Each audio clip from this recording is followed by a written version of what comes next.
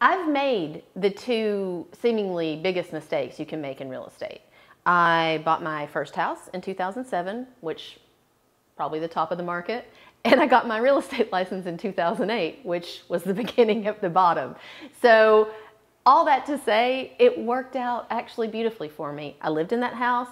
I loved it. I had a roommate. I lived in there for, let's see, 2007 till 2012.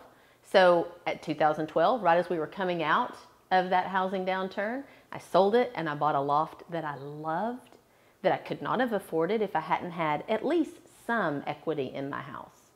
But during that time that I owned that house, even though I bought it at the top of the market, I still made money when I sold it, but I also improved it and I enjoyed it.